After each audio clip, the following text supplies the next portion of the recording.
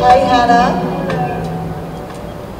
Given the reach and power of social media, do you believe that genuine freedom of speech exists in the Philippines nowadays? Why or why not? First of all, freedom of speech is a basic human right that we all must remember. And it is important for a democracy. And with our upcoming election, we definitely need free speech.